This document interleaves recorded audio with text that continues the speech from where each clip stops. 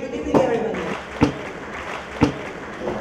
So it's a really great honor and a great success when we have a designer on this huge event, one of the biggest in the world. So Erik Rosete, thank you very much for your partnership. Erik. Over here. Over here. Thank you again. So, Serbia Fashion Week is the fifth biggest fashion week in Europe and I'm, as a president, very proud of that. Um, I really, actually, basically, I'm a designer. I designed for 20 years, basically, in Paris. And after that, someone gave me the license to establish the fashion. So I can tell you this is more difficult to organize the fashion week.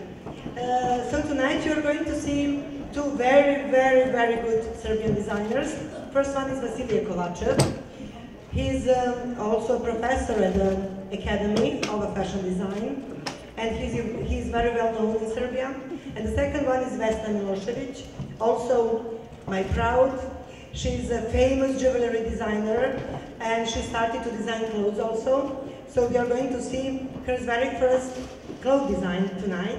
And also we will have a beautiful music with a violinist who is wearing uh, the third famous Serbian designer, Bata Spasojevic. And I'm very happy about that. Uh, so you will also see his dress. So guys, thank you for being here tonight. Thank you, Erik, for uh, partnership. And it is really a huge when you have the opportunity to show your collection on New York Fashion Week, the biggest fashion week. Thank you again.